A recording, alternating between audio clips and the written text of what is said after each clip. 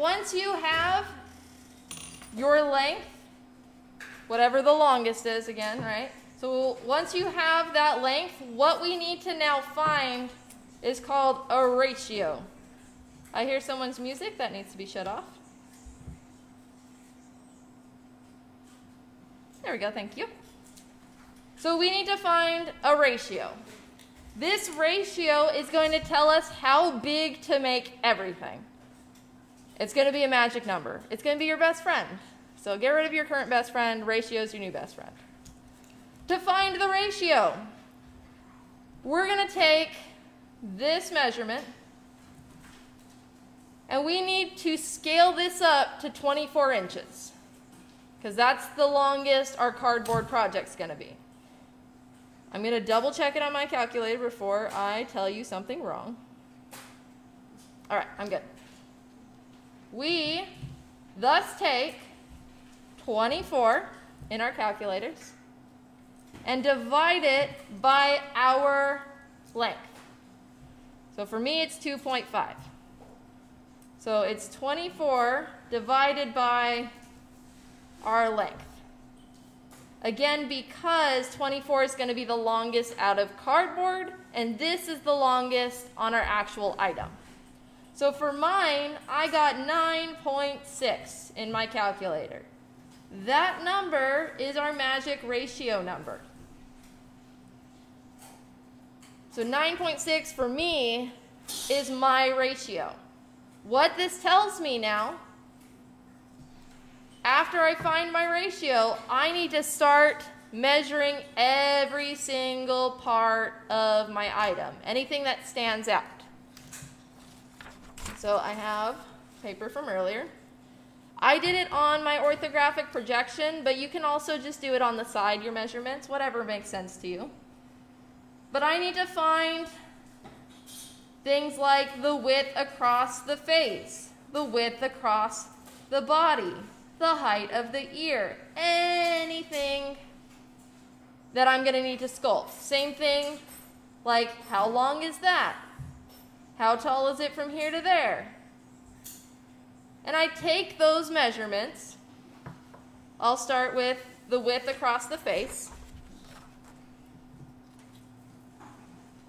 So width across the face, it's going to look different on camera, but it's about 2 and Boop, boop, boop, boop, me counting. Four, oh my goodness. 2 and 11 sixteenths. So across the face is 2 and 11 sixteenths. Once again, I need to make sure that's a decimal, so I go 11 divided by 16. So it's 2.687 or 2.69, whatever. I'm going to go 2.69 to get the actual length that it's going to be in cardboard. So again, this is just across the face. I then have to multiply it by my ratio number, my magic number. So then my 2.69 multiplied with magic ratio, that's not right. What happened? What did I do? Oh, I know what I did. It's not a 2. It's a 1.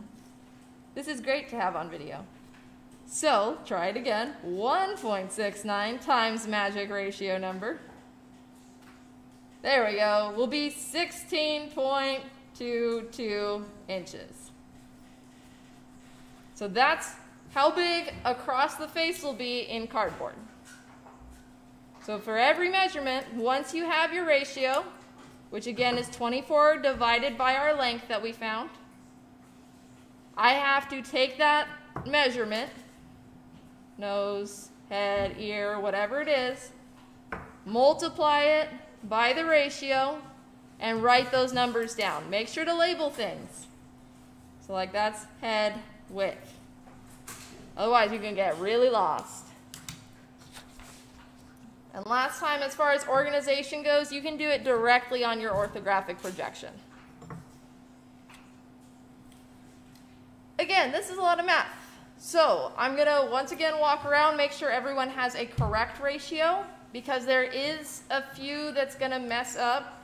If it's above 25, the calculator is doing something weird, and I'll let you know.